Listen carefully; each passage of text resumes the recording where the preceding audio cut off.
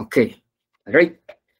So ayun class, ano, so these are the learning objectives. Number two, uh, account for the assets, liabilities, equity, revenues, expenses of the nonprofit organizations. Uh, enumerate and describe the financial statements of nonprofit organizations. And lastly, state the accounting procedures peculiar to specific types of nonprofit organizations. Okay? Ayan, so una, applicability of PFRS to nonprofit organizations. Um, dito sa book, there are several uh, discussions, no? Pero mag-dual na lang, dito na lang ako mag-stick sa, sa, sa PowerPoint, no? Uh, walang ano class, uh, walang specific na accounting standards for nonprofit organizations.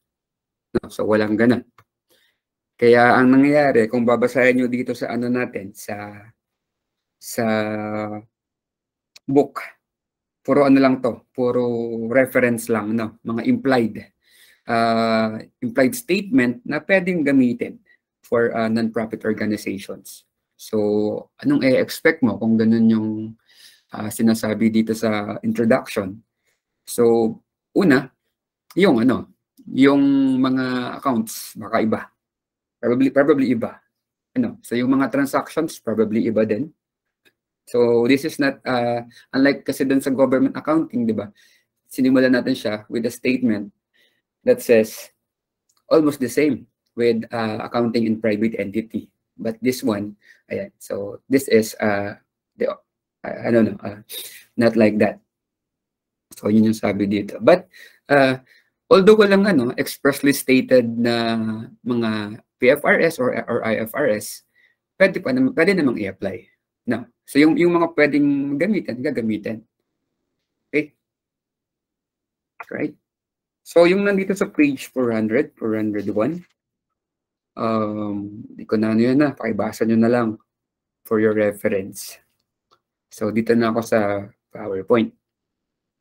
So ano ba yung current trend sa practice uh, of accounting in non-profit organizations. So, ang sabi dito, ayun na naman. Ano. So, parang pareho lang.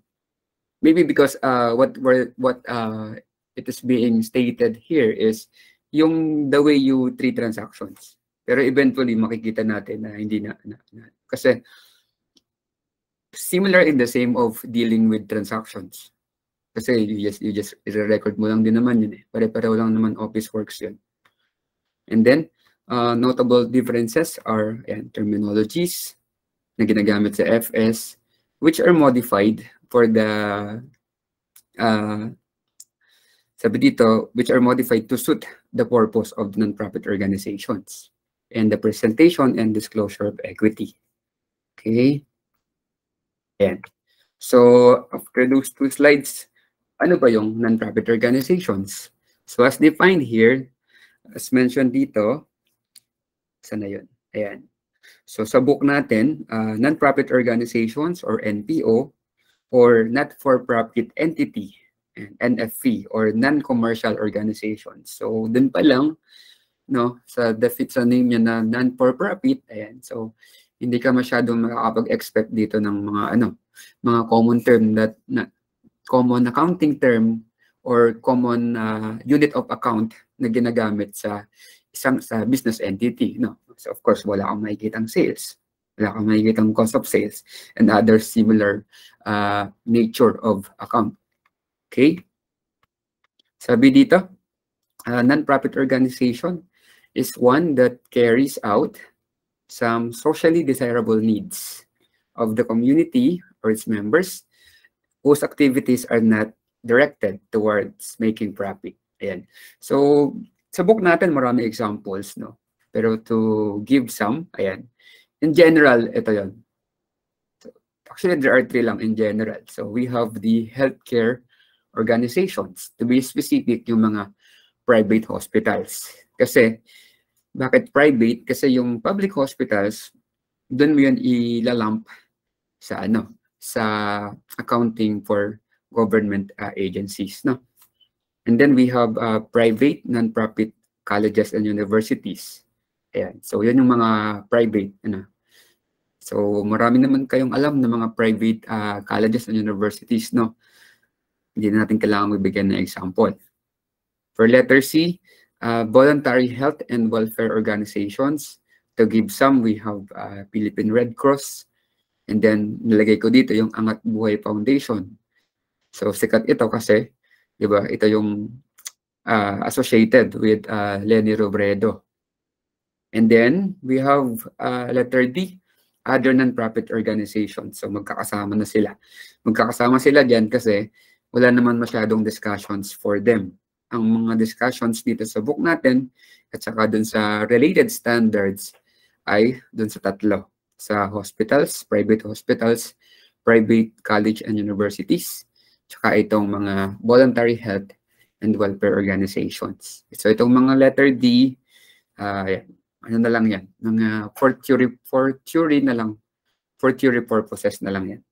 Examples are yan, museums, uh, religious organizations, dito, um, professional bodies, sports, social or literary clubs, and other forms of charitable institutions. Okay? Ayan. So, second bullet here, surplus revenues of non-profit organizations do not inure to the benefit of a particular individual or group of individuals, but rather retained in the furtherance of organization's mission. And again, syempre, not-for-profit organizations. So yung mga incorporators nitong mga corporations na to or organizations na to, no, hindi yung profit ang nasa isip nila when they created their organization. Talagang uh, yung vision tsaka yung mission nila is uh, service no service sa tao so it could be in a form of health sa education or yung welfare etc yun yung kanilang uh, folk yung end in mind. Ano it's not uh, to earn money. But since these are organizations na kahit pa sabihin nating hindi uh, profit yung kanilang intention, still, no, they would uh, do transactions that would require money. So therefore, yung transactions talaga na i-deal natin dito sa non-profit organizations is mga ganun. Uh, yung fund is galing sa ano, mga donations. Mostly, do, most of, uh, substantial portion donation. Of course, hindi naman yung 100% donation lang. Ano, For example, itong private uh, hospitals, tsaka private colleges and universities, bukod sa donations, they are also earning uh, in relation to their operations. So sa hospital, edi yung mga uh, patients, sa mga patients, yung revenue nila from their patients.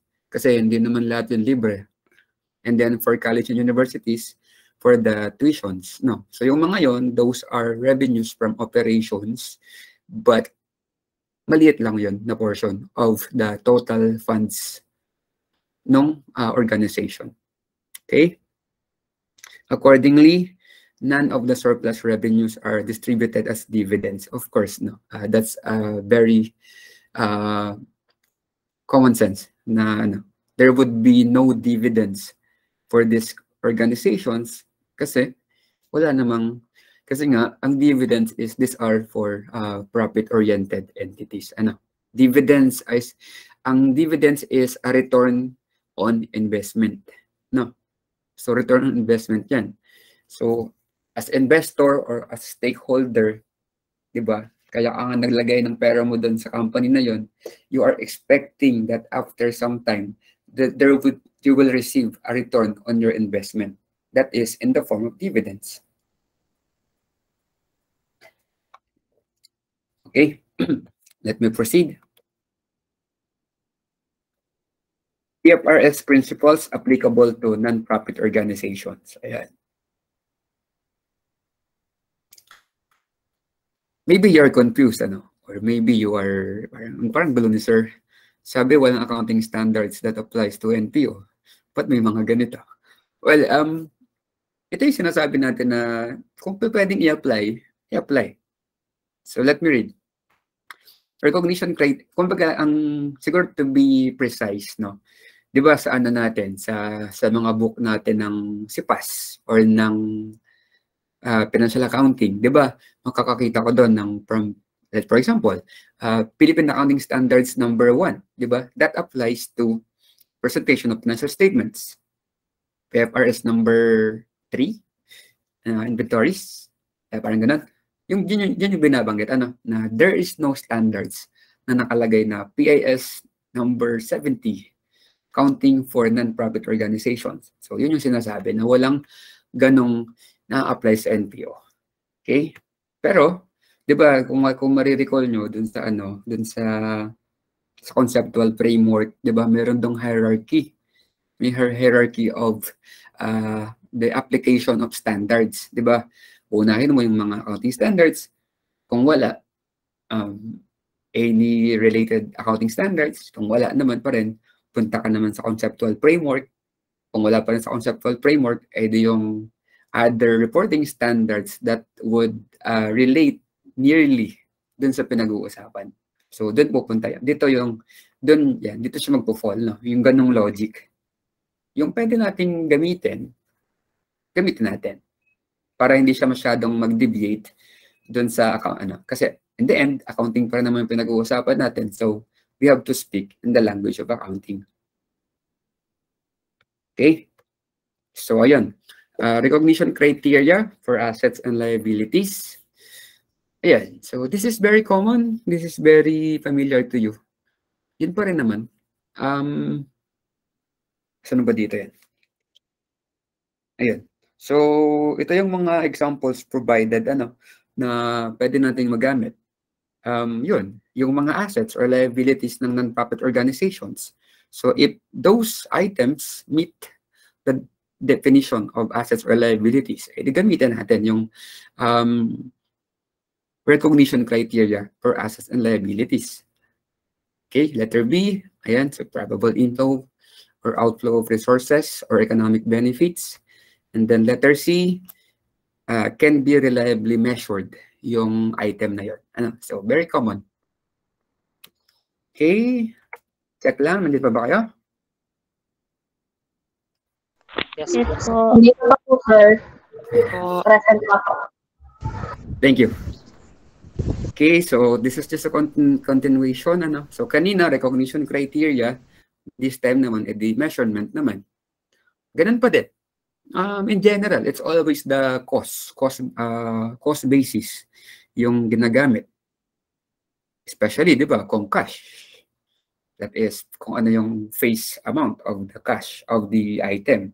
Pero pwede rin fair value, halimbawa, PPE. Or ano pa, investments. Or ano pa ba?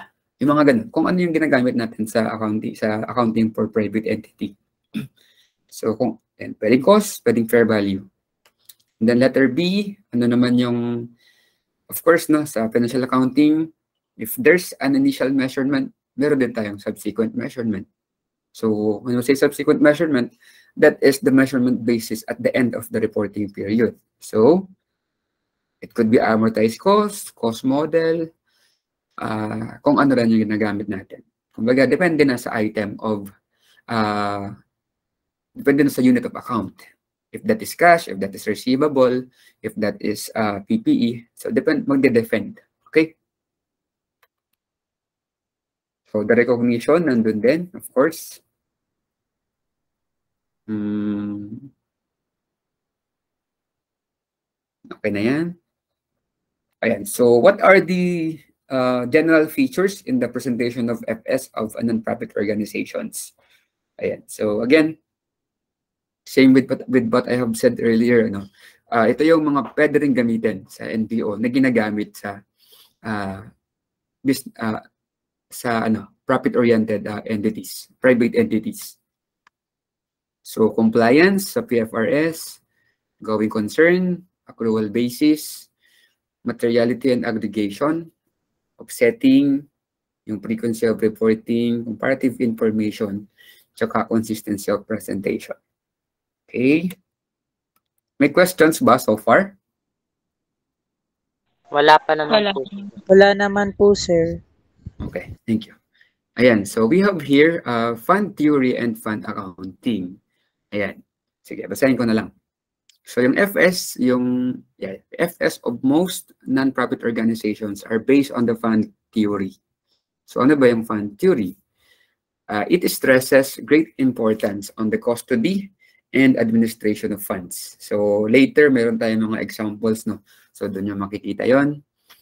Um, accordingly, the source, nature, and purpose of the funds held by the nonprofit organizations are disclosed in order to give information necessary for the users to assess the stewardship of those funds. Ayan, sige. Later naman, uh, may examples tayo dyan. Ano? So, meron, ayun, ito pala. So, yun yung fund theory. How about fund accounting? So, sa fund accounting, sinasabi, under this one, uh, the main accounting unit is the fund. Again, this is with example then later. Ano? So accordingly, transactions are accounted for in the books and presented in the FS strictly based on their fund classification. So ito na yung sinasabi ko last time. Ano? So yung fund classification natin sa non-profit organizations, we have three.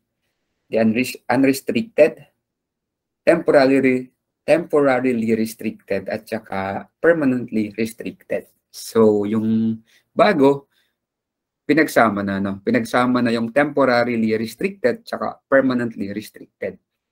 Which would make sense naman. Kasi dalawa lang naman talaga siya. Isang unrestricted tsaka restricted. Under ng restricted, may temporary tsaka merong permanent. Okay? Ayan. So itong ano class, itong fund theory, ito yung nakasanayan natin, ano, na pag-treat ng uh, transactions. Kung ano man yung ginagawa natin sa the whole FS and each uh, accounts, no, yun yung fund theory. So itong fund accounting yan, may examples tayo yan later. Ano lang to? Naka, naka-column lang siya. Kumbaga, there are transactions, each transactions, they're always classified whether they are unrestricted, uh, temporarily restricted, tsaka permanently restricted. So yun yung uh, salient feature ng fund accounting. Okay? So there are uh, some differences here. Ano? Bigay ko na lang sa inyo yan for theory purposes. Ayan. Ayan. So punta na tayo sa ano sa mga relevant uh, terms and discussions when it comes to accounting for nonprofit organizations. So that would start on page 406 of your book. So what is what are contributions or contribution? Ayan. So 'di ba, sabi natin kanina, since uh, itong mga nonprofit organizations in general is hindi nga sila uh, create to earn profit. So 'yun a substantial portion of their funds or of their equity ay manggagaling sa contributions. E, example, to be specific, yung mga donation. Ano? So as defined here, pag sinabi natin contributions, ito yung mga resources that are received from non-reciprocal transactions.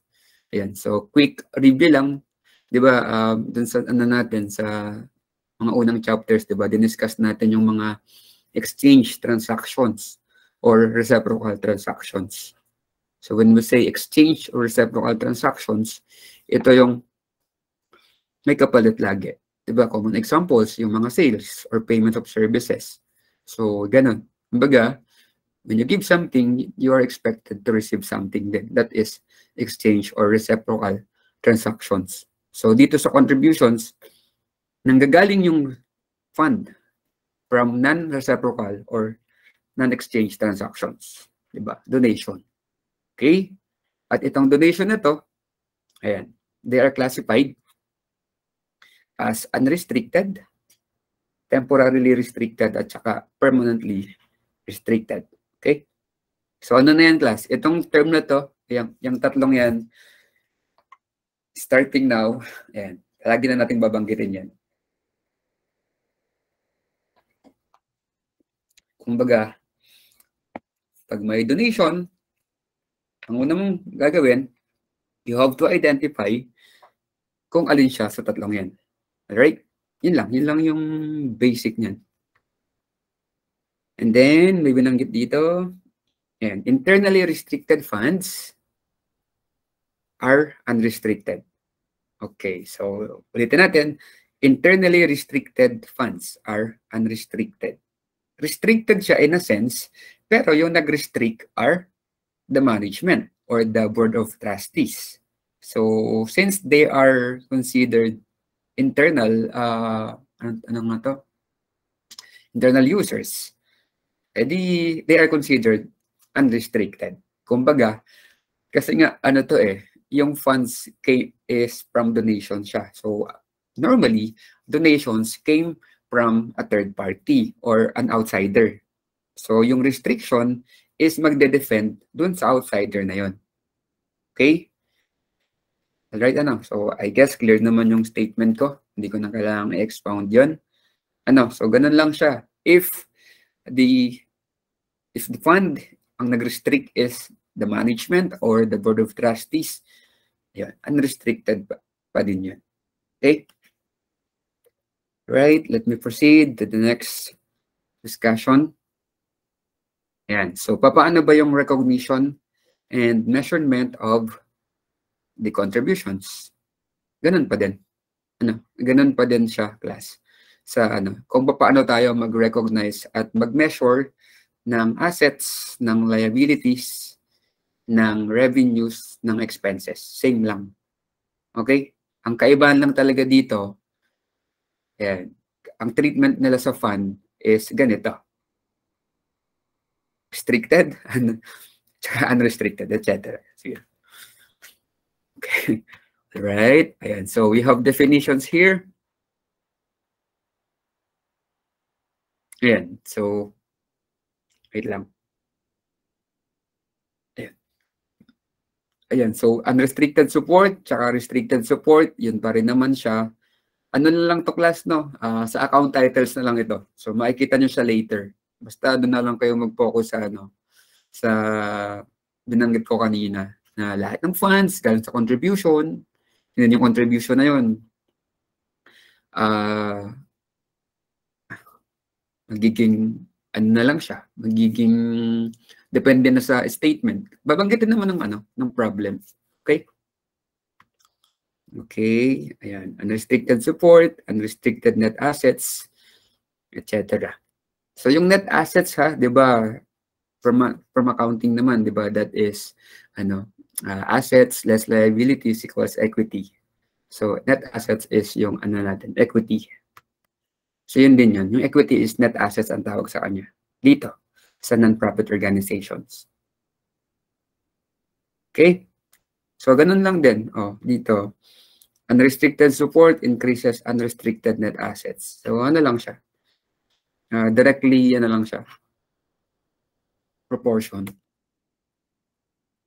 Okay, done with that. Punta na tayo sa ang bilis naman na example. Basta na yan? Ah, okay. Ayan, class. So, walang, bag, uh, dito sa book, meron siya example. So, tingnan natin ha. On page 407. Um, sige, ako na lang din ng ano, ako na lang din ng magbasa. So I'm hoping now you are looking at your book, illustration one, that is for unrestricted support. And then for illustration two, we have example for restricted support. Ayan, so let's go over with this na. I-run ano lang natin to. I-go over lang natin. So as you see here, no, a non-profit organization receives cash of 200,000 and land with fair value of 1 million to be used at the entity's discretion. Ayan. So, paki-highlight na lang yung word na at the entity's discretion. So, yun yung uh, note ng donor. Bahala na yung entity kung saan nagagamitin. E di, on that note, unrestricted siya. So, therefore, yung entries natin, as you see, you have a debit for cash and land, kung ano man yung amount given, And then we have a credit for contributions revenue, unre- unrestricted support. Ano? So, yung nakikita nyo dito, yung cash and land, that is of course an asset. And then yung contributions revenue, these are, this is revenue account. Okay? Revenue account siya. So, eventually, mapupunta siya sa ano? Sa unrestricted. Kasi ano to eh, um, this is, di ba, this is an income statement account.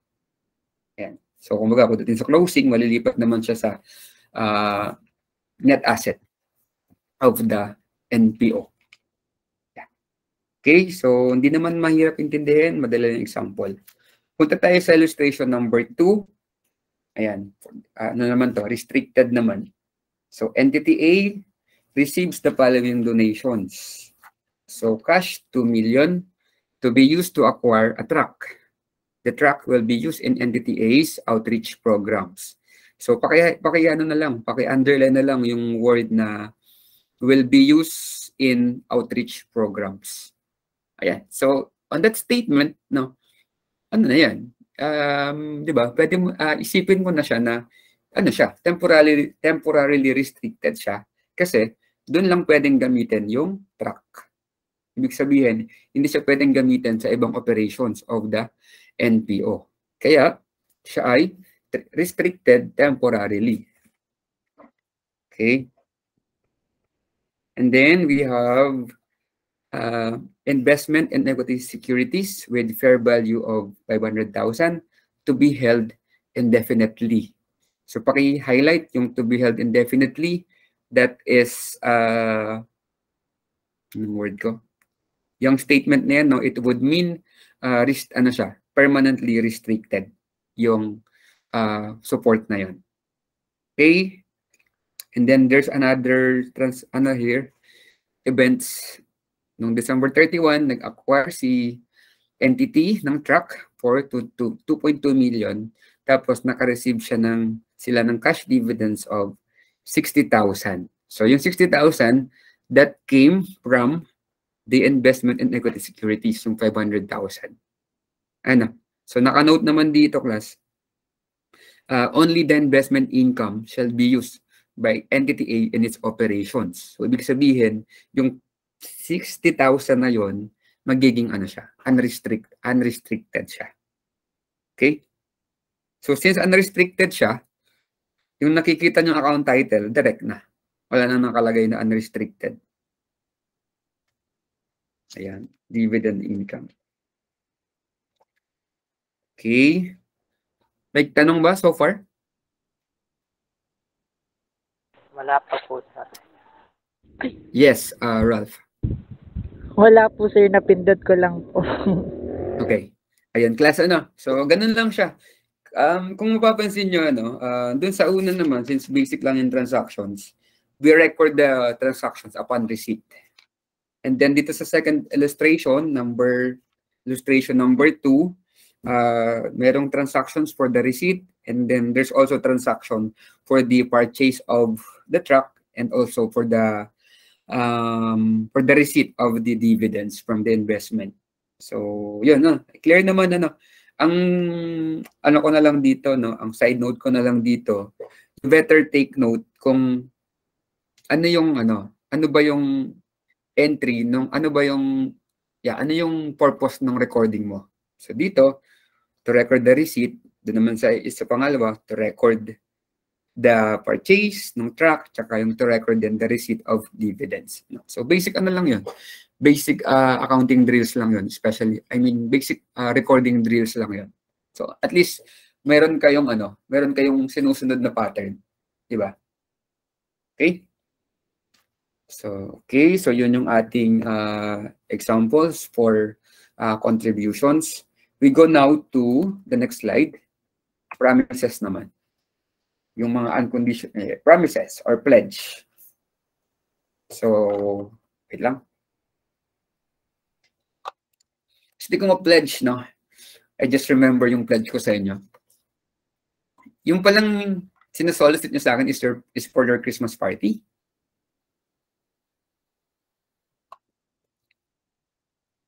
Okay, yes po, sir. Pang Christmas party po, sana siya.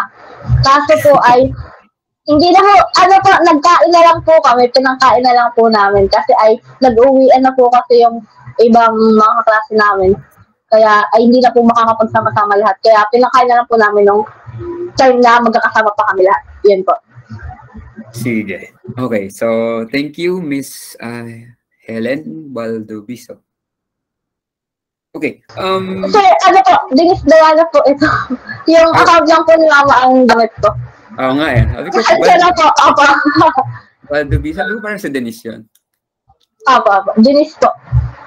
Sige. Sige, speaking of pledge, no, pag nag, uh, pag nag face-to-face class tayo, mag, ano lang ako, doon lang tayo ng merienda sa ano natin, sa klase. Okay? So, yun na lang yung pledge ko, ha? Okay, uh, diretso tayo sa ano natin, discussion.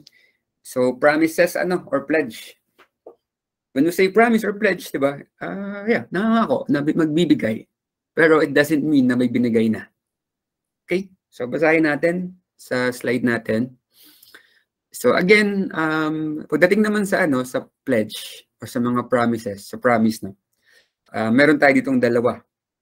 Ah, conditional or unconditional. Pag sinabi nating unconditional, ano lang yan? Um, unconditional. So, walang condition. Wala akong maisip right now na uh, words to describe. Ano? Pero I hope uh, alam- clear naman sa inyo yan. Ano?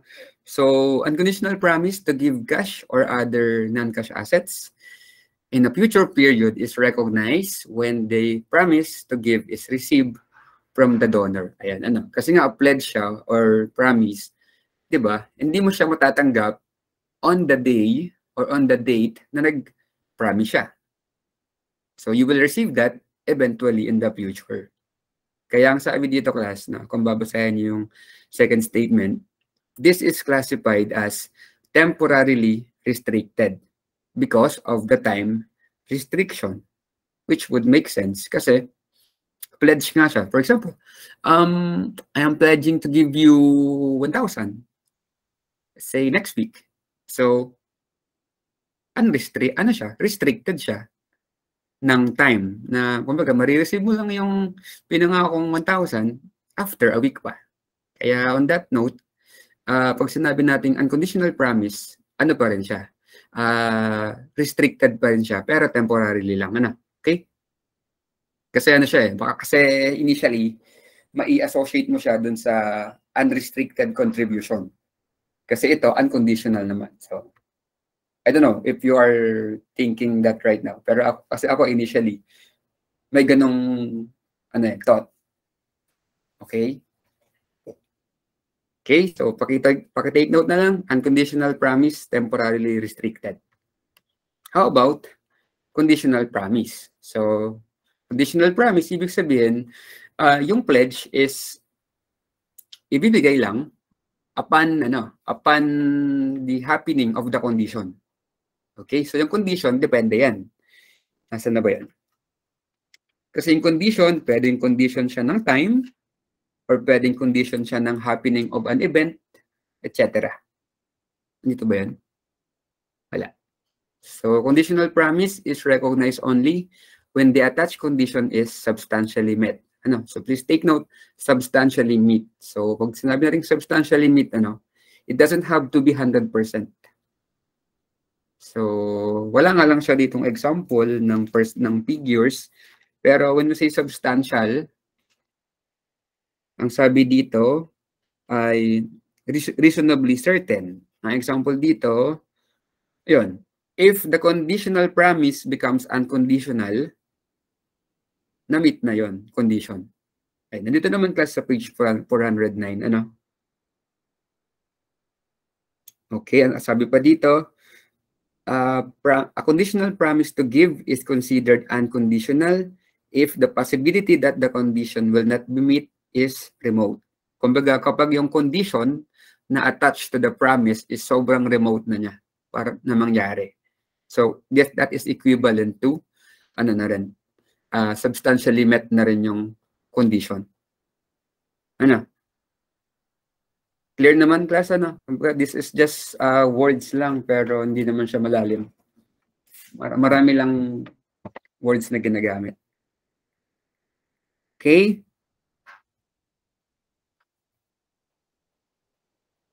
Ayun, so ang sabi dito, a transfer of assets, ah, hindi, wait lang. Yeah, correct. So dito sa ano sa conditional promise class, meron pa ditong ano another discussion yung transfer of assets with a conditional promise to contribute them shall be accounted for as refundable advance until the conditions have been substantially met. Ayun, tama. Of course. So, liability muna siya. And so, para mas mag-sink in siya, punta tayo dun sa illustration. Uh, page 409. Ayan. So, an entity A receives formal promise from donor X to donate 1 million. So, this one is unconditional siya sa case 1. Kaya ang entry natin dito, ganito. Wait lang ha. Sabi dito, the donation is unconditional and to be received on February 14. So we have two entries here. The entry upon receipt of the formal promise. Okay, basta nung, nung araw na nangako. And then pangalawa is yung araw na mismong ano na, uh, ano to, na-receive na yung promise. Ayan, so ganun lang din. So uh, yung entry natin din sa una, donations receivable, and then credit contributions revenue temporarily restricted. And then come February 14, ano na siya, um, ito na yun, time restriction lang to. Kaya on February 14, uh, yung receivable mo na dinebit upon the receipt of promise, kinedit mo na siya. And then you debit cash kasi nga, yun na yung uh, actual na receipt of the promise. Ano, ayan, okay?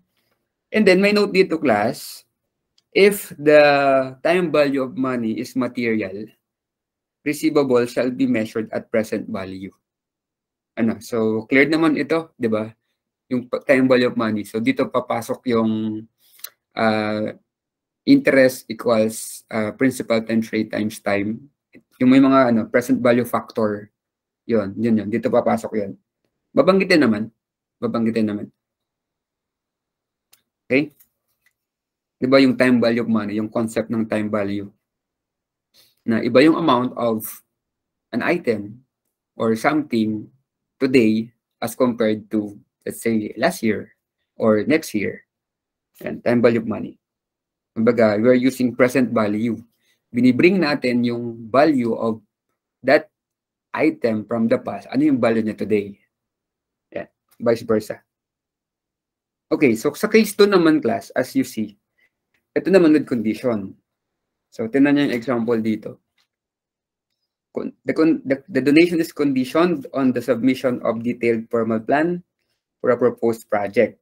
And then, ang sabi dito, nung January 1 pa lang, nung mismong araw ng promise, wala namang, hindi pa substantially complete yung plan. So, therefore, walang entry. Okay? And then, example natin dito sa case 3.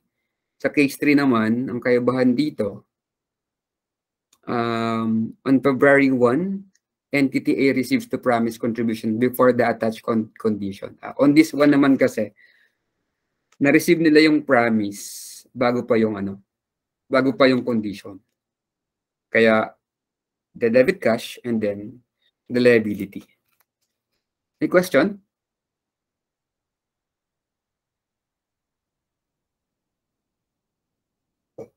Class, nandiyan pa kayo? Naman po, sir. Yes po, wala naman pong question ngayon, sir. Ah, sige. Well, um, all throughout class, no, ganito lang to kadali, I tell you.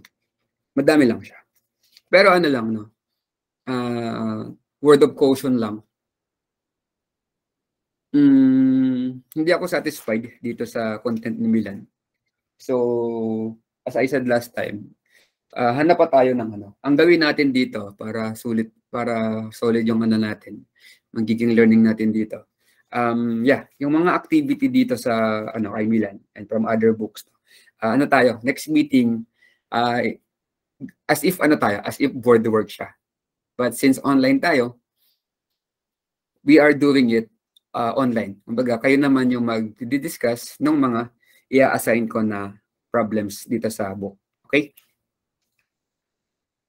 So, naano ko na to, na bilang ko na to. No? There are 25 here. Na-divide ko na siya into 25 uh, people. So, let's assign it later. So, by next week, kayo yung magdi-discuss nung uh, ano, nung inassign kong problem and then i-discuss nung sa klase, sagutan natin. Okay? Okay.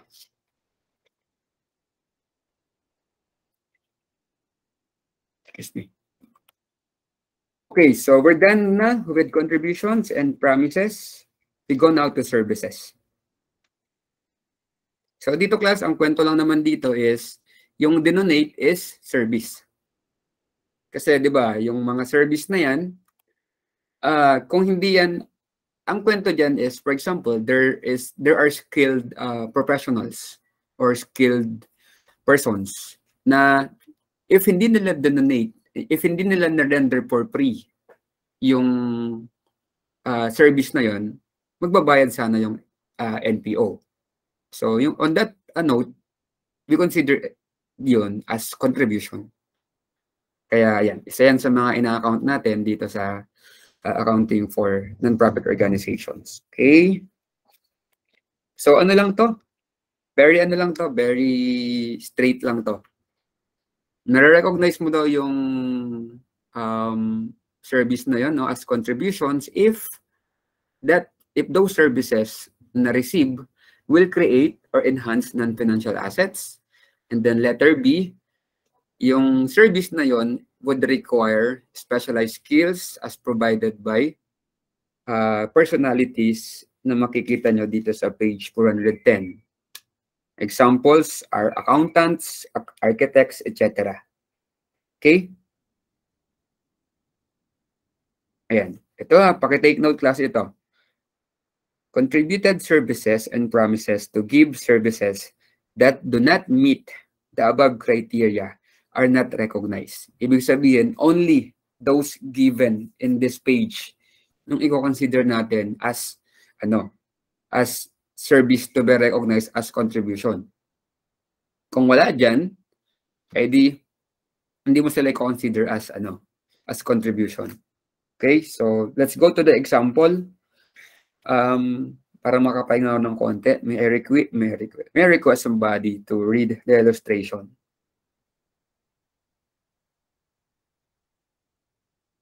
Yes, uh, Zarina.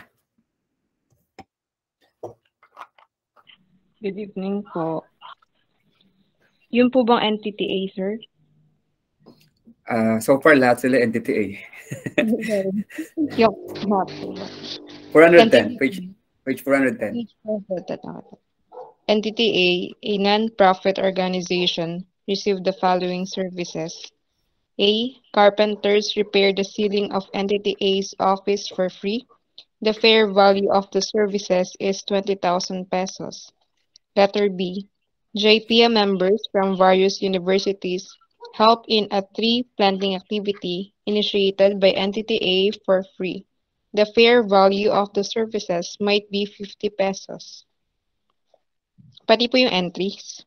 Ah, okay na yan, uh, Sarina. Thank you. So, ayun class, ano, as stated kanina dito sa uh, nasa screen, and only those uh, in the uh, above given criteria uh, should be considered contributions. Otherwise, hindi mo sila i-recognize. So on that on that ano, statement, yung ano lang, yung sa carpenters lang, yung kinonsider natin na contributions. So, by recognizing that, uh, we debit repairs and maintenance expense, 20,000. And then, kinredit natin ay contributions revenue, unrestricted support. And, ano, so, unrestricted siya kasi ano na to eh, uh, service ano na to eh. Uh, kumbaga, hindi ito in a form of cash service na to. So, In its very sense, wala nang restriction ito. Kaya unrestricted support yung nakikita natin dito na uh, term. And then, sa JPM members, very obvious, ano, no entry. No entry. Kasi, wala naman sila doon. Tsaka, ang ano dito, ang rational dito, ito bang tree planting activity ng JPM members, no? Initiated by Entity A is ano ba siya, di ba? Parang would uh, would it create or enhance non-financial assets? Not. So uh, dito no sa non-financial assets, there are no examples given.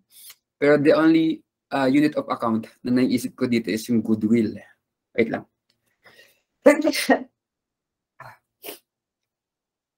And ano, so yung, may- uh, probably yun, yun yung tinotok ko. Ano, non-financial assets, intangible asset pala yun.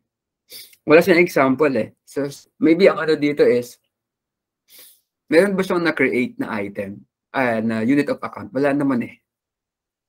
So therefore, yung ano na yon, itong tree planting activity na to, eh di wala siya. Deadma. Ayan, so yun yung example natin class for uh, services. And then, uh, there is discussion here for work of art and similar items. So, to be specific, no, ano to? Ah, ano bang common example ng work of art? Yung mga ano, mga sculpture, ano yun? Yung mga paintings. Or yung mga, ano pa ba? Paintings na lang, di ba? Yung mga ganong, yung what if ganun yung denominate daw? So, basahin natin. An entity need not recognize contributions of work of arts, historical treasures, and similar assets if the donated items are added to collections that meet all of the following conditions. Ayan. Ano, so, ay, tagalogin lang natin ng konti, no? Kung yun yung mga i-donate, hindi mo siya i-recognize as, as revenue. Pero may condition. Una, held for public exhibition, education, research, etc. Letter B, protected, keep un unencumbered, cared for, preserved, and then proceeds from sales are to be used to acquire other items for collection. Ayan. So I think ang ano dito, no, ang pinag-uusapang ano dito, uh, specific non-profit organizations is yung mga museums, di ba? Yung mga for exhibit. So, ibig sabihin, if they have received donations such as paintings, for example, painting ni, ano, ni Heart Evangelista. Aware ba kayo doon, class? Aware ba kayo na nagpe-paint si Heart Evangelista? Yes po. Sa mga Yes bags po. Yes po, sir. No, not, yeah, yeah, bags. Pero yung bags, ano yon For ano niya yun eh, parang signature bags niya. Pero meron siyang paintings na ano, basta, grabe, parang, parang overrated masyado. Ang mahal ng presyo. So, halimbawa, nag-donate si Art Evangelista ng paintings niya sa museum. The purpose is for exhibit, etc. Itong mga to. So, yung museum na yun, they would not consider those that uh, donation as contribution. Kasi the, the very purpose is for exhibit lang. Ayan, basic lang naman yun.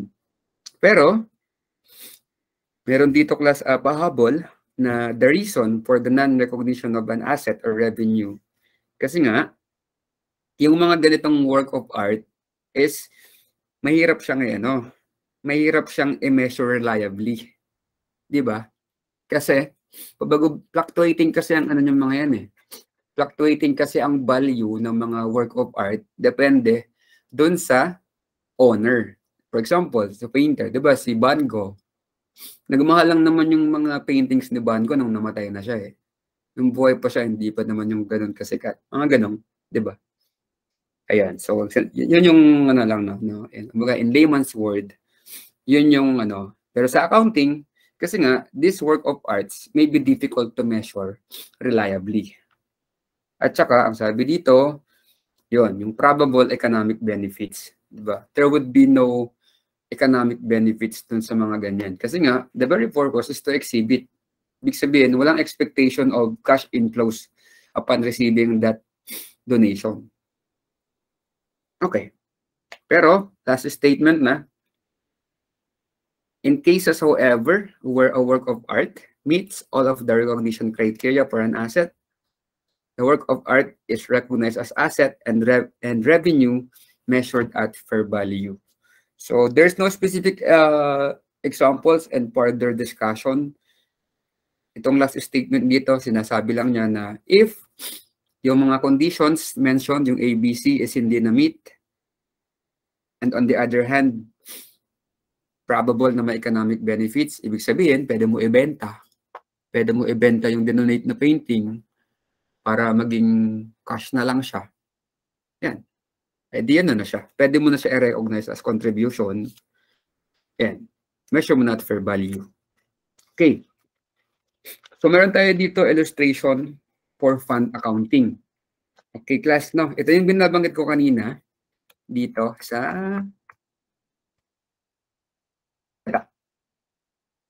Yan.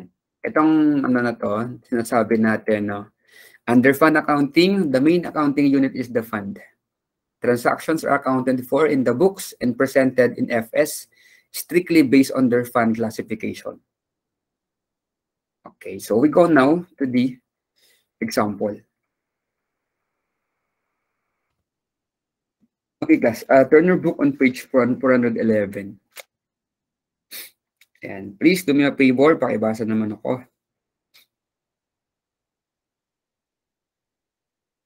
Class. Yes, uh, Jerry Mike.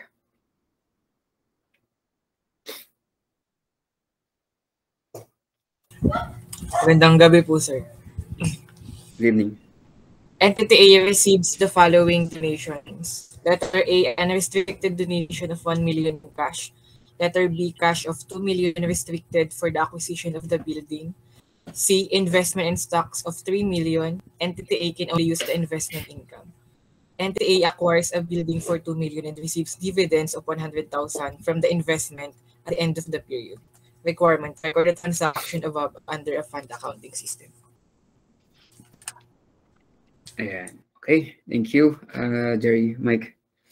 So ito yung class, ano, ito yung transactions and then ang ano dito is how are you going to answer the requirement? Ang sabi, record the transactions under fund accounting system. And then when you turn your page on the next page, this is the solution. So naka, naka ano lang siya, no? Naka-matrix lang siya. So you have three columns here, unrestricted fund, temporarily restricted fund, and permanently restricted fund. So ano lang, fill in, fill in ka lang dyan ng mga entries, ng mga transactions. So basahin lang natin. Yeah, okay. So letter A, unrestricted donation of 1 million cash. So as you see here, nag-debit tayo ng cash 1 million, tapos credit contribution revenue. Yun yung uh, first column, first row. Yan yung letter A natin. Okay? For letter B, we have cash of 2 million restricted for the acquisition of a building. Ayan. So this is temporarily restricted. Ano? Kumbaga restricted siya just for the acquisition of the building. Kaya kung nakikita nyo dyan, meron kang uh, first row, hindi, hindi pala, sorry. Sec, yung palang unang entry is uh, first column, second row.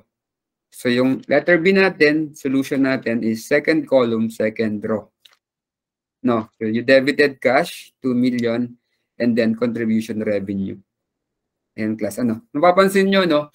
Yung dinedebit nat, yung kine-credit natin class is contribution revenue, whether unrestricted or restricted. Kasi nandun naman siya sa ila, sa column no unrestricted, temporarily or permanently. Ano napapansin niyo yan ano? Very obvious naman. Ayan, kasi 'di ba, kung hindi fund accounting 'yan, kung 'yan ay fund theory, parang yung mga kanina. Itong mga unang examples natin. These are fund theory. So ito naman ginagawa natin, fund accounting naman. Okay, letter C, investment in stocks. Ayan, investment in stocks of 3 million. Entity A can only use the investment income. Ayan. So class ha, please take note itong letter C. Baka kasi ma-confuse kayo.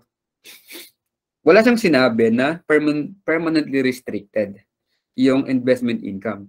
Pero yung second statement would uh, impliedly say that kasi ang sabi, entity can only use the investment income. Uh, do you follow? Yes po.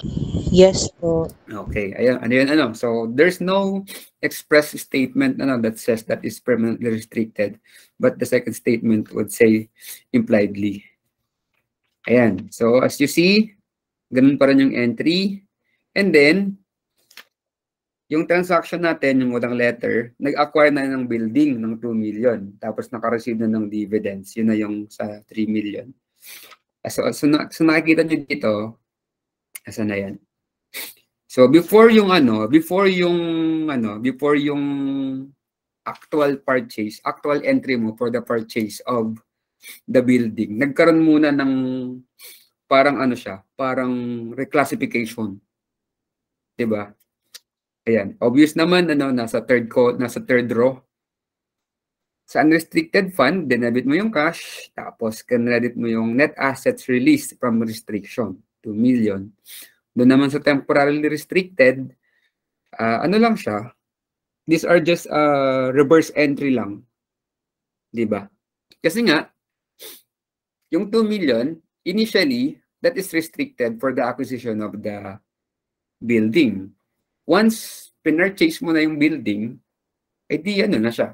Kailangan mo nang i-reclassify yung item from unrestricted to, uh, I'm sorry, from temporarily restricted to unrestricted. Kaya may ganyan tayong entry. Okay? And then as it happens, kasunod na yon yung kasunod na doon yung ano natin, yung transaction for uh, the purchase or the acquisition of the building worth 2 million. Kaya may debit ka ng building and credit ka ng cash 2 million under ng unrestricted fund. Ayun. I hope that uh, makes sense. And then letter C, para lang yung katulad ng kanina, no? Uh, you debit cash, you, you uh, credit dividend dividend income. Okay, I hope that's clear. And then there are ano, there are ano dito, ano to? Okay. Ano lang to? The balance, ayan. So dito class, uh, yung kasing kanina, ano siya, no? Uh, yung matrix ng mga entry. So dito naman, itong computations dito is, uh, this is in support pa din dito sa una. Dito is, pinapakita lang dito what would be the ending balance of the net assets. Ayan. So as you see here, meron tayong net assets na temporarily unrestricted fund, 3.1 million. Temporal, temporarily restricted, uh, zero. And then for permanently restricted fund, 3 million. Ayan. So, konting example lang to pero marami kayong ma, ma ano dito. Matatanda ma, matututunan dito. And I believe ano to, makakarating na to hanggang ano, hanggang deptals. Itong example na to class. So, paki-take note na lang ano. Fund accounting. Okay. So we have here other funds held by non-profit organizations. Ah, hindi siya diniscuss. Ah, saan na yun? FS na kagad. Hmm. Ah, sige, sige. Uh, daanan natin ng konti itong page 413 class, no? So, other than the examples given, di ba? Uh, saan tayo nagsimula? Sa donation or contribution, followed by promise, and then followed by services. And then, nag-discuss ng fund accounting, tsaka yung mga work of art and other similar items. And then, on page 413, andito naman tayo sa other hands held by non-profit organizations. Ibig sabihin, bukod, bukod dun sa mga na-discuss natin, ito rin yung other funds nila. Okay? So we have endowment fund, agency fund, plant fund, board designated fund. Di ko na masyadong babasahin at i-discuss. Halos pare-pareho lang naman. Punta na tayo dito sa example. Hmm. Sige. Illustration 1. Pwede pakibasa? Page 414. Yes, uh, Ralph. Good evening po, sir. Good evening. Illustration 1. Classification of contributions. An NPO disclosed the following. A. Net resources of 1 million pesos invested in plant assets. B. Board dis- designated funds of 600,000 pesos. C. Received 20,000 pesos cash from a donor who did not specify any use restrictions on the contribution. However, the donor specified that the donation should not be used until 2022. D. Received 800,000 pesos from a donor who stipulated that the contribution shall be invested indefinitely and that the earnings shall be used for scholarships. Investment income in 2021 amounted to 50,000 pesos. Okay. Um, thank you, Ralph. So, ayun, class, ano, um, kailangan natin pagdaanan itong mga illustration kasi ito yung mga, ganito yung mga examples sa, ganito yung mga activities sa exercises nitong book natin. So, ayun, ano, uh, sagutan natin, though given naman yung solution, no, discuss lang natin. Ayan, isa-isahin natin.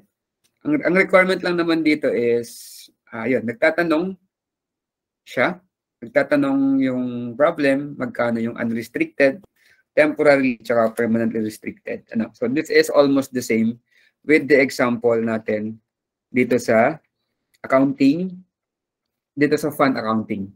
Ano? So this is just another ano discussion. Okay, so puntahan natin letter A, net resources of 1 million invested in plant assets. Ayan. So this is an example no na sobrang silent siya. Eh di kung ganun, ang assumption mo, unrestricted siya. Kaya makikita mo siya sa column ng unrestricted net assets. Okay? Letter B, board designated funds of 600,000. I have mentioned it earlier, no? Yung mga board is, ano sila, uh, they, they are the management. So para siyang management restricted fund. Which uh, I also mentioned that this kind of fund is considered unrestricted. Kaya nandito siya sa letter B. And then yung letter C natin, uh, saan na yun? Ayan, did not specify any, any use of restrictions on the contribution. However, the donor specified that the donation should not be used until 2020, 20x2. Ayan. Ayan. Ayan. Plus ano. So maganda dito kasi, na-expose kayo dun sa mga klase ng transactions. So as you see here, binanggit naman na magagamit lang yung 20,000 until 20x2. So therefore, meron siyang implied na temporary restriction, which is time restriction siya. Kaya siya nakalagay dun sa letter, I'm sorry, nakalagay siya sa temporarily restricted net assets. And then for letter D, uh, nasa na yan? Ayun, yun na naman, yung word na shall be invested indefinitely. Kaya nandun siya sa, sa uh, column ng permanently restricted. And then again, as always, no, yung income or yung return on investment doon sa uh, yung return of, yung return of investment, mga yung earning doon sa investment, yun lang yung pwedeng gamitin ng wait lang. Ba't siya nasa letter B? Ah, okay. Shall be used for scholarship. Kaya nakalagay siya sa temporarily restricted net assets. Okay, so clear naman glass ano. So same lang to nung kanina. So ang ano ko na lang dito sa inyo is himayin yung mabuti, yung mga word kasi yun yung magiging ano mo eh, guide mo kung paano mo siya i-classify. All right. So we go now to ano, to illustration 2. And then we also have net effects on net assets. Ayan. Sige. Sige class, ano, um, itong mga to, bigay ko na lang sa inyo to. Hindi naman siya mahirap intindihin eh. Tapos with ano naman siya, with example naman. Okay? And then, proceed na tayo dito sa ano. Proceed na tayo dito sa next slide natin. Sa nasa screen. So, financial statements. So ito class, ano, this is a comparison of FS ng NPO. So first column is for PFRS based on IAC SEF published audited FS tsaka SPAS number 117. That's the same. So yan, sige, discuss na din. So you would you would notice class ano, uh, ito yung mga FS ng non-profit organization. Statement of financial position check, statement of cash flows uh, check, notes check. Pero pagdating dun sa pangalawa, statement of activities, ito yung peculiar. Ito yung peculiar to non-profit organizations. So tanong, ano ano kaya ano ba yung dalawang uh, FS na nawala? If you're going to compare it to accounting for private entities. Anyone?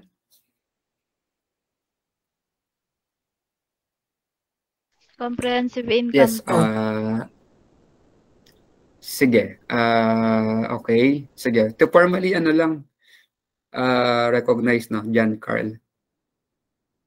Sir, try lang po. Parang yung income statement po nawawala.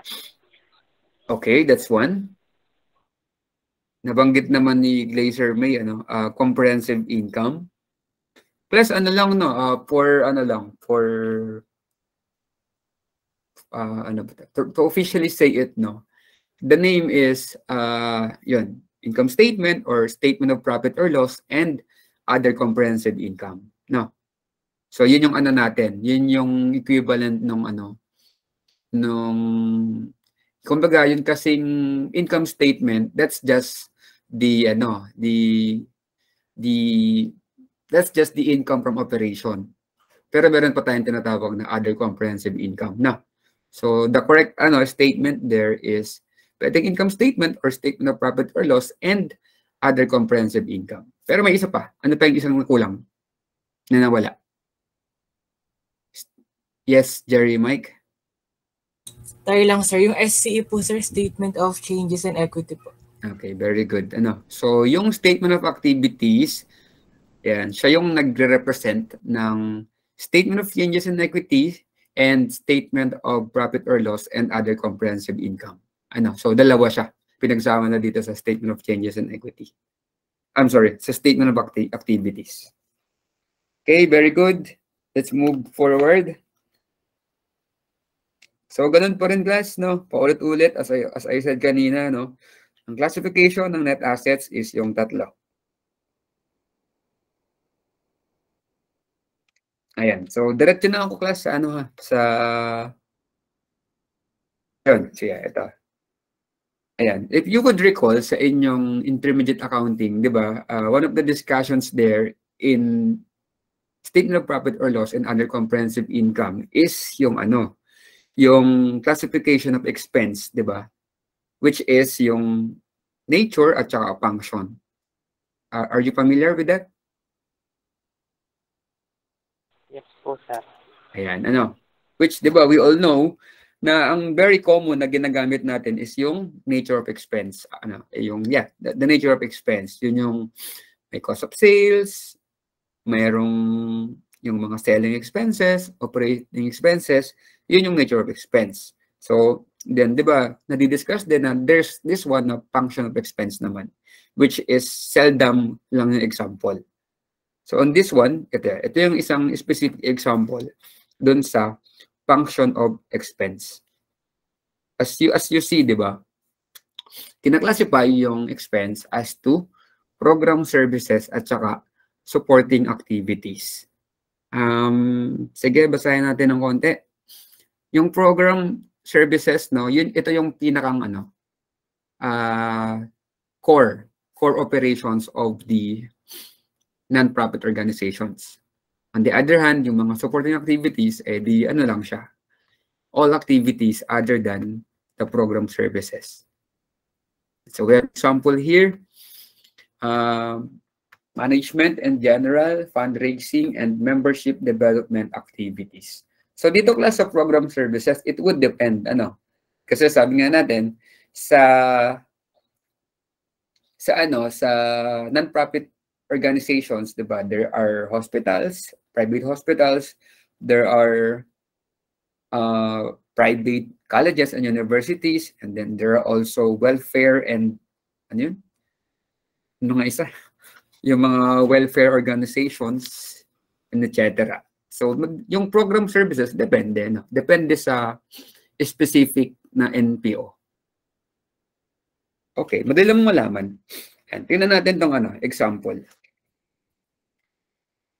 Ayan, so we have here example ng page 421. Ayan, so and an NPO had the following expenses, administrative salaries, work to help help elderly cit- cit- citizens, fundraising costs, child care services provided for indigent families. Ayan. So, on this example, hindi nabanggit kung anong klaseng ano siya, kung anong specific na NPO siya. Kaya, ano na lang to. Uh, i-discuss natin ng mas madali by looking at the solution. Pero, pero very obvious naman, ano, na yung work to help elderly citizens at saka yung child care services, yun yung program services. On the other hand, yung, yung fundraising costs, tsaka administrative salaries, ayan, sila yung mga ano, sila yung mga expenses na nai-incur kahit ano pa, kahit uh, na, na nai-incur sila which is not considered uh, the core operation of the ano of the non-profit organizations. Clear naman ano class? Yes po. Okay, thank you. Yun.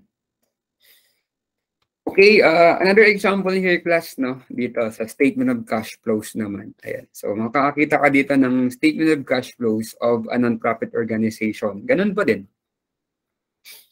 Ibibigay sa'yo yung mga transactions. Ma-identify mo naman. Sige. Uh, may I ask somebody to read yung statement of cash flows illustration? Anyone?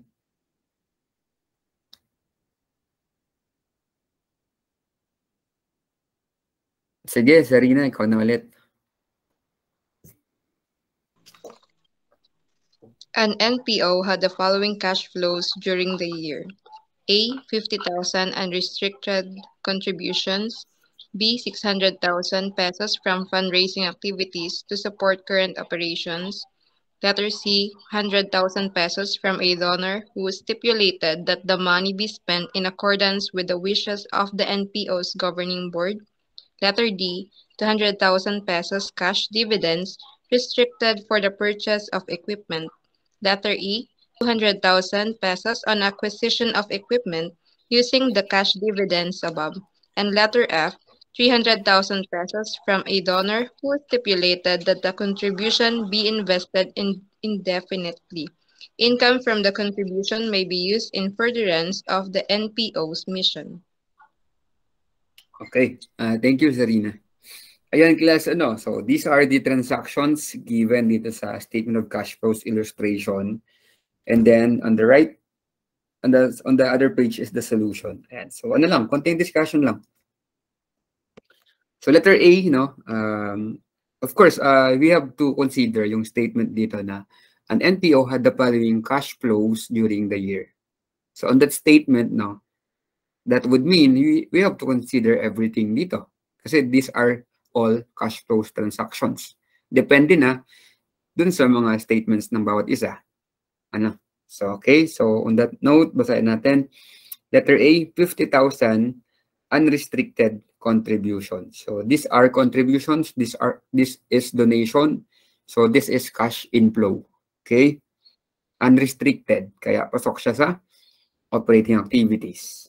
Ano? So, as, as you would notice, ano, uh, walang word that would relate to financing, walang word that would relate to investing, tapos unrestricted naman siya.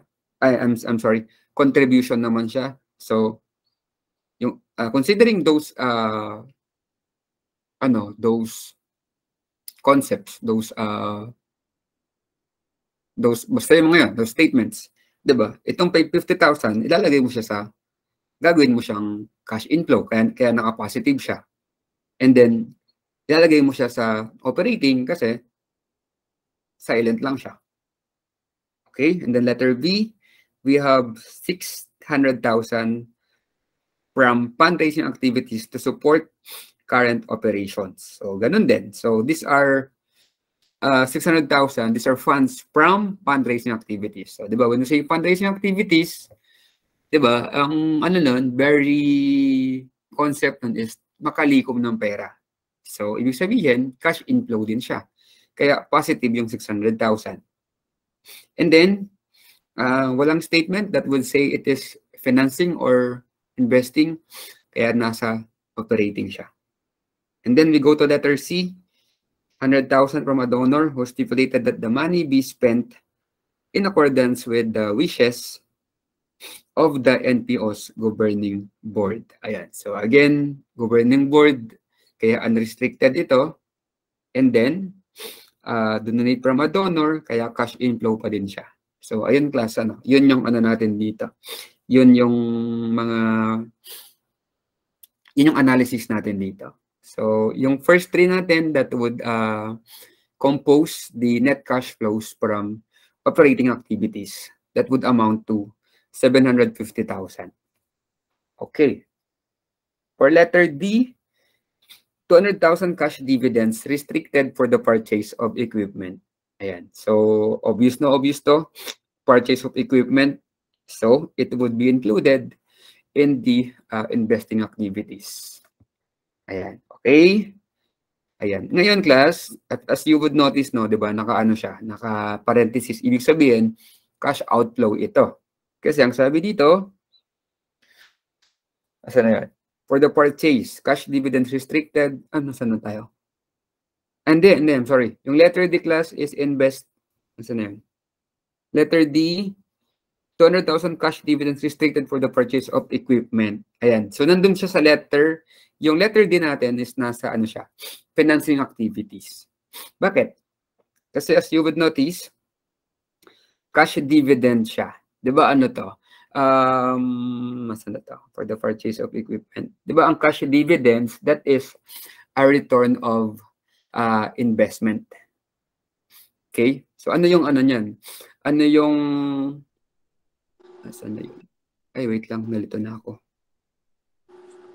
Cash dividends. Guys, nandiyan ba kayo? Yes po. Tama Yes po, sir. Wait lang. Yes po, Hindi, sir. hindi. Oo. Wait lang. Uh, Bing, pwedeng paki, ano, paki off cam si Matthew. hindi ako makafocus. Sorry, class ha. Hindi, nawala na ako sa focus. Yala, paki off si Matthew. Ayan. Ayan. Okay. Pasensya na. Yung anak ko kasi.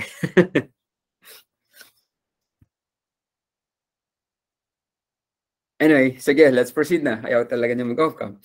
So, dun sa letter E natin, uh, 200,000 acquisition. So, acquisition siya ng cash dividends, di ba? So, cash outflow ito. Kaya, negative siya. So, yung letter E natin, yun yung nasa investing. So, balikan ko yung letter D class, cash dividends for the purchase of equipment. So, kasi pwede siyang pampalito eh. Purchase of equipment ang intention. But, these are cash dividends restricted for the purchase. Di ba? Itong cash dividends class, ano to eh, this is a return of investment. So, di ba, ano yung, ano, ano yung prior transaction bago yung cash dividends? So, nagkaroon ng finance. Ibig sabihin, finance natin, di ba? Kumbaga, galing siya from financing activities. Kaya, magpo-fall siya dito sa financing activities. Ayan. Yun. I hope that would uh, that is clear na, no? Medyo nawala na ako. And then lastly, uh, letter F, 300,000 from a donor who stipulated that the contribution be invested indefinitely. Ayan. And then, income from the contribution may be used in, further, in furtherance of the non-profit organization.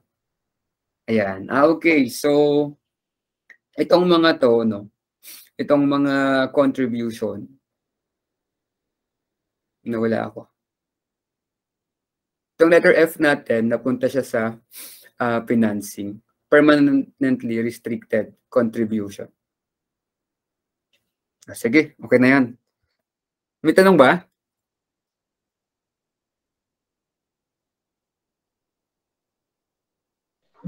Wala naman po, sir. Wala po, sir. Ah, sige, sige. Pero ako, no, I have to take this one. Meron ako mga thoughts in mind. Nakukulangan ako sa justification.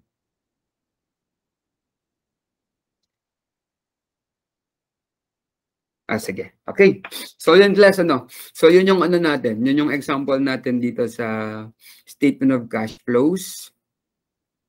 Then, paano yung solution niya pag ito yung problem. Okay. So, punta na tayo dito sa accounting procedures peculiar to specific types of non-profit organizations. Ayan. So, ito class yung mga ano, ano, ito yung mga specific NPOs natin. Okay? Ayan. Ah, Sige, konti na lang to. Pwede na tayong, malapit na tayo mag-dismiss. Pero, ah, sige, sige. Okay, dire diretso ko na class ha. So, ano na, ito yung, it, itong next discussion natin, ano, ano na to? Ah, specific na to, depende na sa specific uh, non-profit organizations. Okay, direct natin. And so sa FS class, no, ito na. So same with what I have said earlier. Kapag healthcare organizations, ito yung kanyang FS. Yan. Statement of operations in lieu of statement of activities. And then meron siyang statement of changes in net, net assets that is equivalent to statement of changes in equity if a private company ka na for profit in the notes. And So we have example here for healthcare organizations. Um, wait lang. Okay. So ito class yung example ano, mayroon tayo ditong pro forma. So dito sa makikita nyo rin yan sa page ano, sa page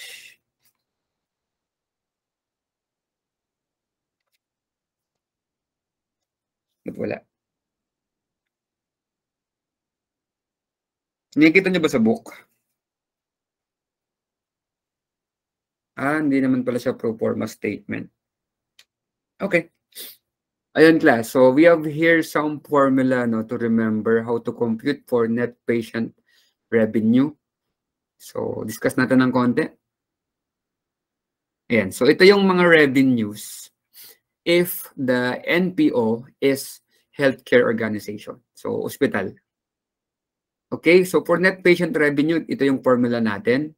Uh, gross patient service revenue.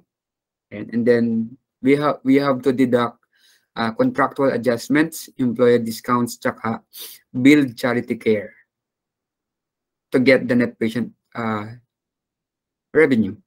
And then you also have premium revenue result daw from capitation agreements and then and then other revenues. Okay.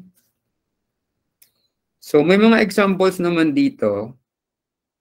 Tingnan natin. Page 425. Ayan. So class, ito no. Ito yung ano natin dito.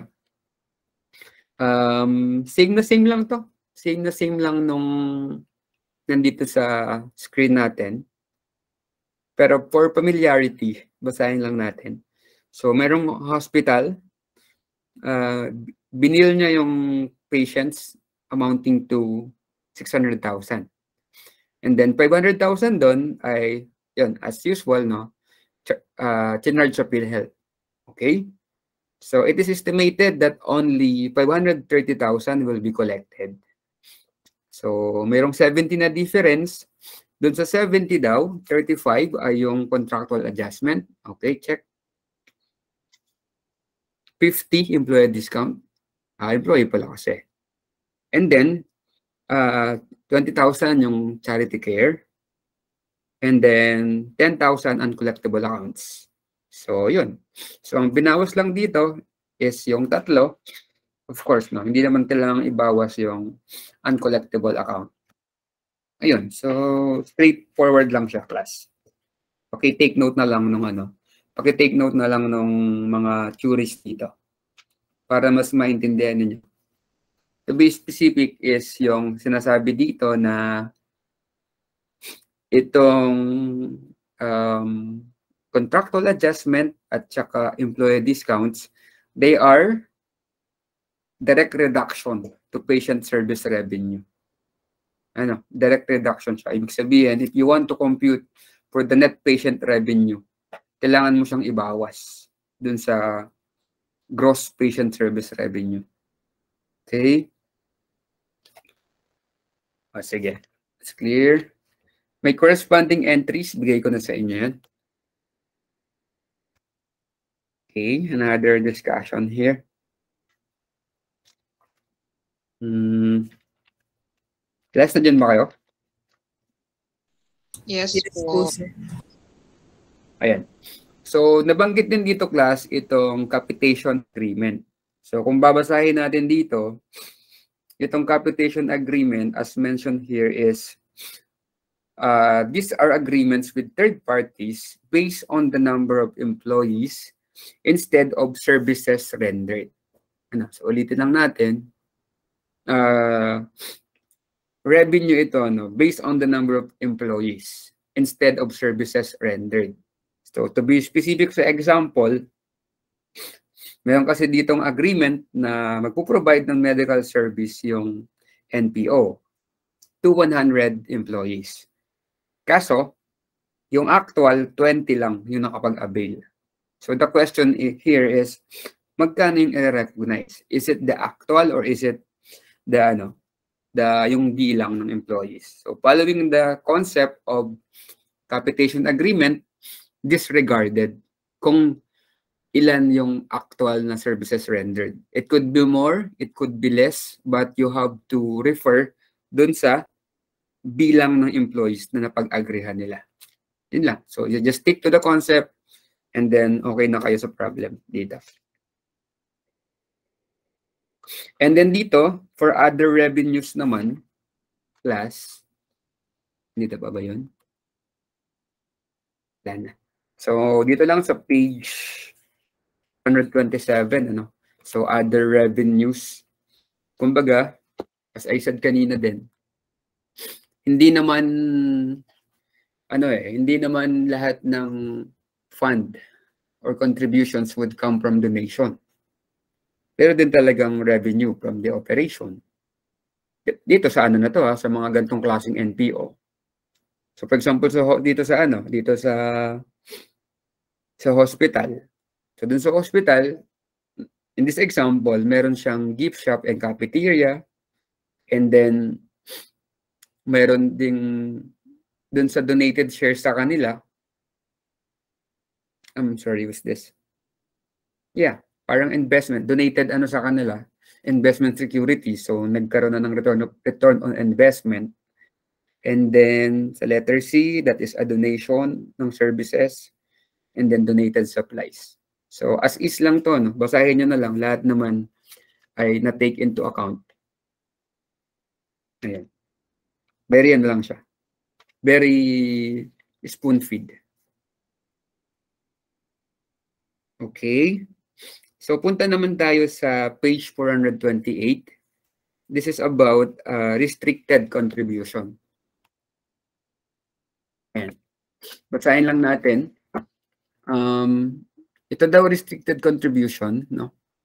Uh, it should be, it should, uh, healthcare organizations present revenues from restricted contributions separately at the bottom part of the statement of operations after unrestricted revenues and expenses. So, yun lang naman yung statement. And then there's example, there's, there is illustration here, no? Tinatanong, magkano yung total revenue? In the revenue section of the statement of operations. Ayan. Okay, so again, clear lang to, clear lang din to class, no? So yung 400,000 dito, ito yung tinutukoy na restricted contribution. So, ang tanong dito is, ang, ang deal natin kasi dito is, papaano yung classification or yung presentation Kumbaga, hindi naman mahirap talaga yung problem eh. Kaya lang, pag hindi mo kasi alam yung concept, probably, isasama mo dito yung 400,000. So, yun lang naman yung gustong sabihin dito. So, based on this answer, hindi niya sinama si 400,000 kasi nga, it has to be separated from the unrestricted revenue. Unrestricted contributions. Okay? Class, nandyan ba kayo? Yes po. Present po po, sir. Sige. Ayan, class. So, konti na lang to. The rest ay for readings na lang siya. So, dito na ako sa ano, sa private, non-profit colleges and universities. So, basahin lang natin. Yeah. So, ang peculiar na ano dito, na accounting transactions dito is ito. Scholarships and fellowships granted freely are treated as direct reduction of revenues from tuitions and fees. So, same lang din to class. Parang ano to, parang, nasa na yun? Sige, hindi ko mahanap eh. So, paki-take note na lang no, sa page 429. Ayan. So, itong ano class, itong scholarships and fellowships, ayan, siya ay direct, reduc- direct reduction from of revenues from tuition and fees. And then, yun namang letter B, scholarships and fellowships granted, ayan, considered sila as expense. And then, itong withdrawal of enrollment, ayan, direct reduction din siya from tuition and fees. Ayan. So, anong ano natin dito? Ano yung magiging issue natin dito? Kasi, if the question here is the net revenue, walang problema. Kumbaga, it- it's just uh, merely the correct uh, classification. The correct classification of the of the revenue or of the expense. Ayan. So, ngayon, kung pupunta tayo dito, class, sa, sa illustration, dito sa page 429. Ayan, tingnan natin. So, yung, yung university, no, so they, they assess the students ng 1 million for tuitions and, tuitions and fees. And then we have additional information here. Ayan. So, merong 50,000 scholarship para sa mga academic scholars. So that would uh, be an example of letter A. And then we have student scholarships granted to student assistants. And then refund for class cancellations and withdrawals of enrollment. So that is letter C. And then we have uncollectible, estimated uncollectible accounts. Ayan. So itong ano class, itong letter yung 120,000, ito naman yung letter B. So ngayon, tinatanong tayo dito, how much is the net revenue from tuition and fees? Ayan. So based on the solution, ang i-consider mo lang dito is yung 50 tsaka yung 20 kasi sila yung direct reduction from the revenue of tuitions and fees. Unlike nung ano, nung 120,000, these are this is considered expense. No. Pero eventually naman class. For, so as you see here class no sa page 430, the answer is 930,000. Eventually, this 190 930,000, ibababas mo naman dyan itong 120,000 para makapunta ka na dun sa bottom line. Dun sa ating statement of ano, statement of anong name dito. I believe this is ano din, statement of operations din. Ayan. Nag nagigets nyo? Nakaka-follow kayo?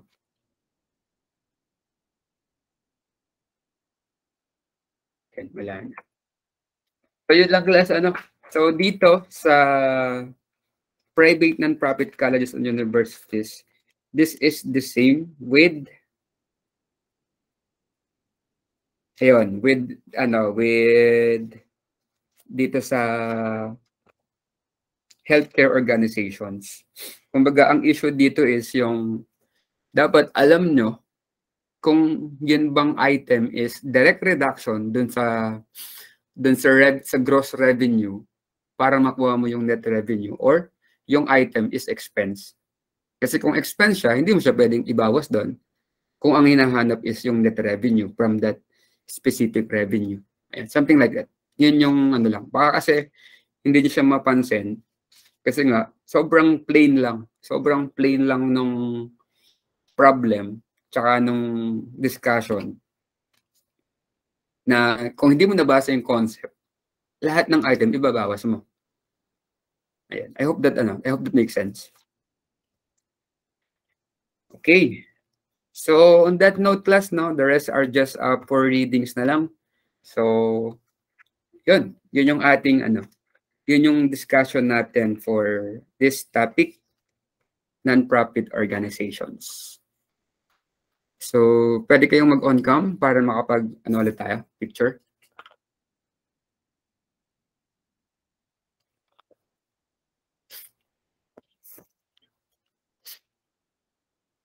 May tanong ba?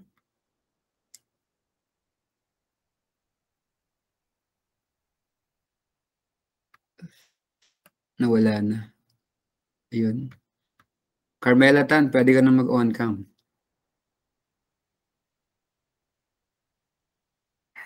Okay, sige class, uh, kindly ano na, para makaano na tayo. Okay. Na lang sa camera. Smile.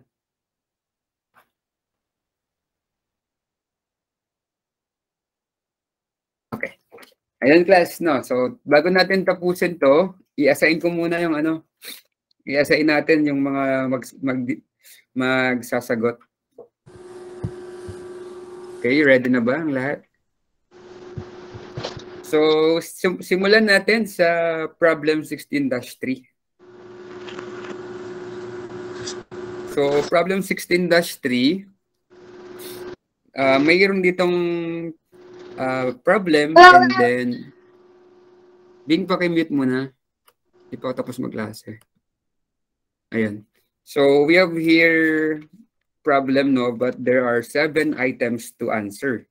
So, for this one, I would be asking for two, two from the class, no? To answer this. The first one is yung 1 to 4, tapos the second one is yung 5 to 7. Pwede mag-volunteer, pwede ako tumawag. Kaya wala nag wala walang nagbo-volunteer, magbe-base ako sa ano. So kay Kirjan ko na lang. Kirjan Abetria. Kirjan, paki-confirm. Sige po, sir. Sa'yo yung ano, uh, problem 16-3, item number 1 to 4. And then, meron bang gusto mag-volunteer sa 5 to 7? Okay, wala. So, I would give this to Miss uh, Agudo, Chris Angela.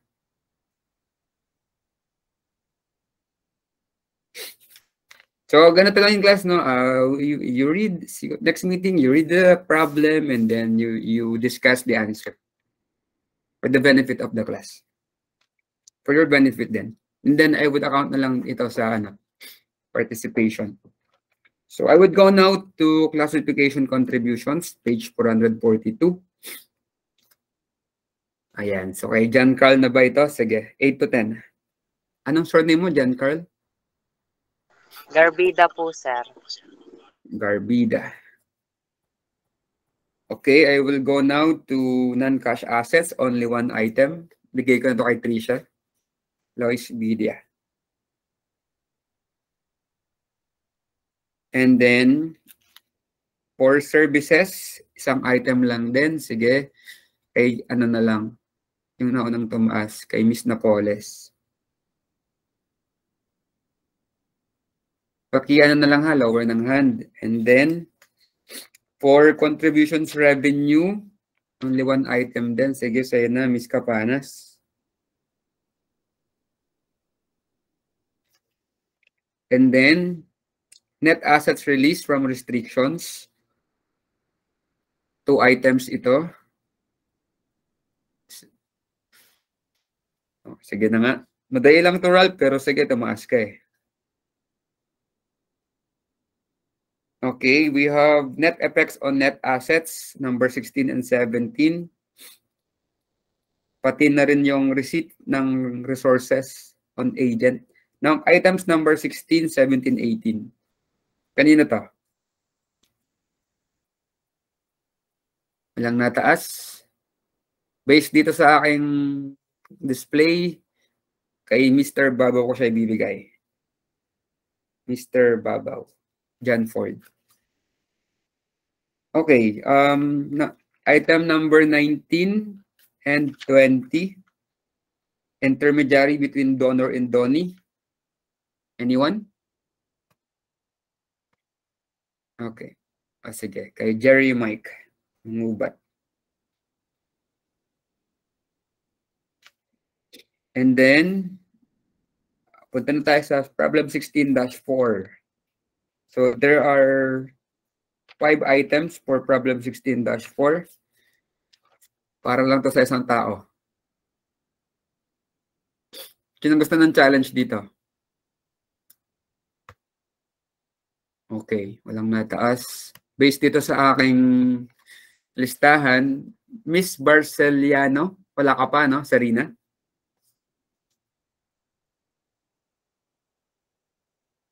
Sarina?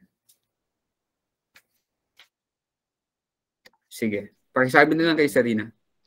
Noted po. Okay, uh, for endowment, only one item. This is for Trisha, meron ka na, no? Miss Bidia?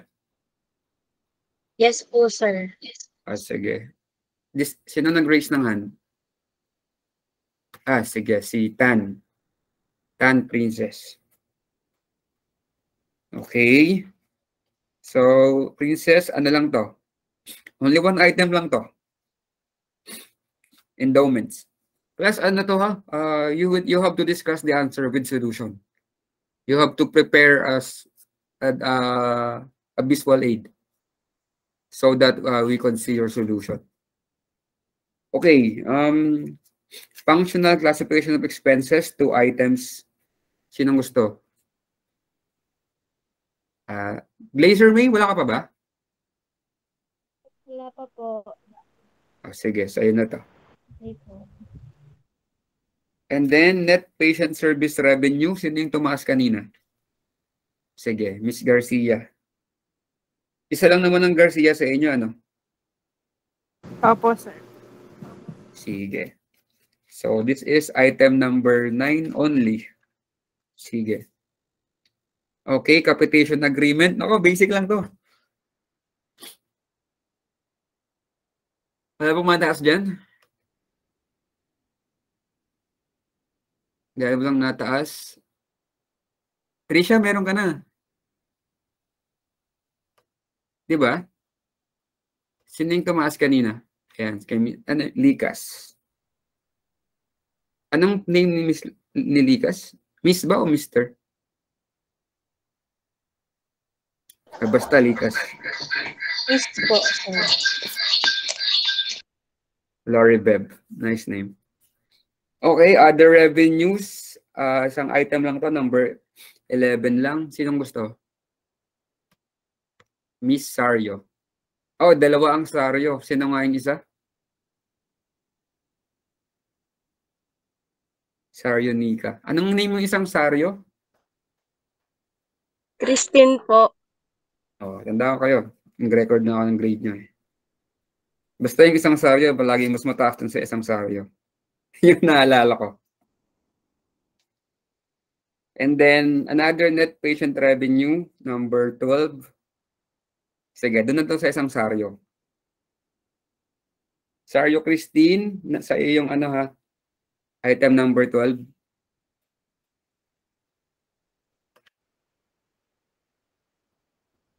Nasaan si Miss Christine Sario? Noted po, Nika. sir. Okay. And then, net revenue from tuition fees. Kunti na lang class to. Para makauwi na ako. Net revenues from tuition fees, wala ba? Yung mga hindi pa nabibigyan, baki ano na kasi lahat kayo mabibigyan. Sige. Helen Baldoviso. Kay Denise. Luis. Noted po, sir. Okay, accounting for marketable securities. Isa lang din to. Miss Oringo. And then depreciation, Miss Opleda. Statement of cash flows, oh, madali lang to. 16, 17, 18, si Miss San Antonio. And then we go now to problem 16-5. Ayan. So itong nang itong ano na to, recognition and measurement. So wala hindi siya multiple choices. You have to prepare the journal entries. Ayan, yung mga pahuli yan. Mahihirap na yung mga tanong. Sino yung mga wala?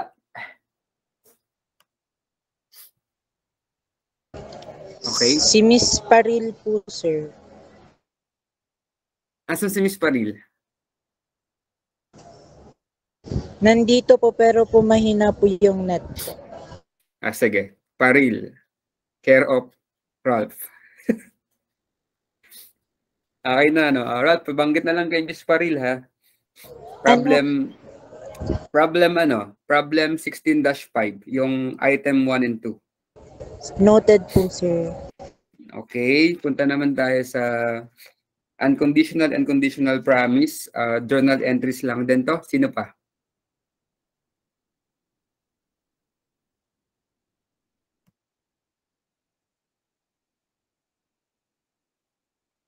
Wala ka pa ba, Miss Kansana? Wala pa po. Ah, sige. Sa'yo na to. Unconditional and conditional promises. Okay, ah ano, fund accounting. Madali lang to. Fund accounting. Sino pang wala? Si Miss Marco. And then, Miss Marco, no, sa'yo yung number 4, A and B yung requirements. And then, next, other forms of contributions, number 5 and number 6. Ay. Kahit lang class. Ay, hindi pala. Miss Marco, sa'yo ay ano? Sa'yo ay yung... Miss Marco, sa'yo na rin pala to. Sa'yo na pala tong other forms of contributions tsaka yung FS kasi multiple choices lang to eh. Theories lang. Miss Marco, pa i-confirm? Yes po. Sir, ano nga po other form of, ano po? Wala ba siya sa platform? Andito po, Hindi, sir. nag-raise Good- ng hand eh. Plus, Sir, pakisabi ha, andito pakisabi po. kay Miss Marco. Kanya rin yung, kanya yung 4, 5, and 6.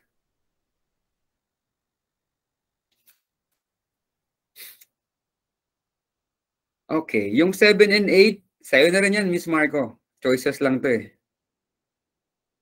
4, 5, 6, 7, 8. Ang dami na. Okay.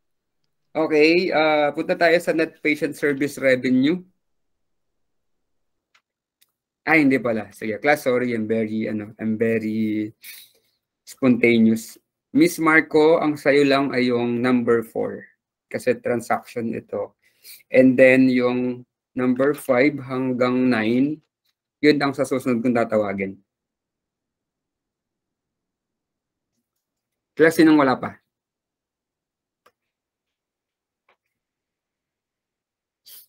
Okay. Sino nag-raise ng hand? Miss Hopelio. Ayan. Miss Hopelio, sa'yo yung ano ha, 5, 6, 7, 8, 9.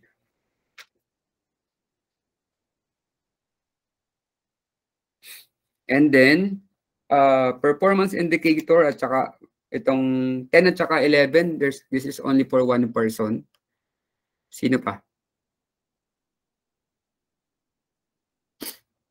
Nasa po na ako. Last, meron pang ilang di natatawag.